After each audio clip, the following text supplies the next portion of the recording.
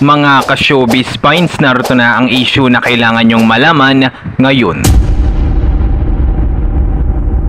Itbulaga host na si Joey De Leon, pinagtatawanan nga ba ang issue na kinakaharap ngayon ng It Showtime particular ni Vice Ganda? Ano nga ba ang naging reaksyon dito ni Vice Ganda matapos na mapagtawanan ng henyo master na si Joey De Leon?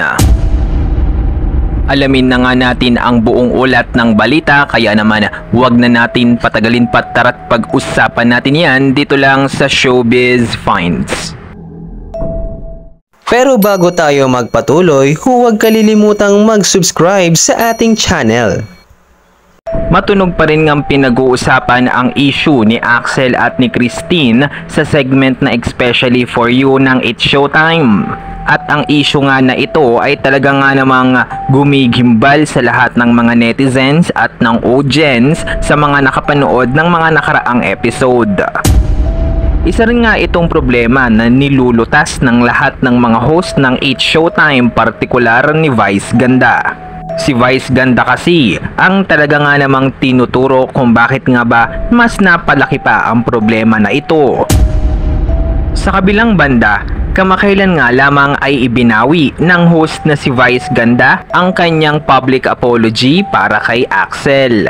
Ito nga ang kanyang konklusyon at kanyang pinag-isipang desisyon.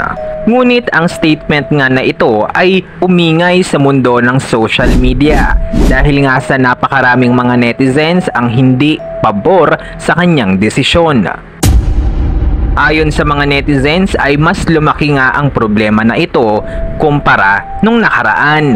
Para rin sa ilang mga netizens ay hindi naman raw mahirap na magpatawad. Kaya naman pala isipan pa rin sa mga netizens kung bakit nga ba mas pinili pa ni Vice Ganda na bawiin ang kanyang sorry.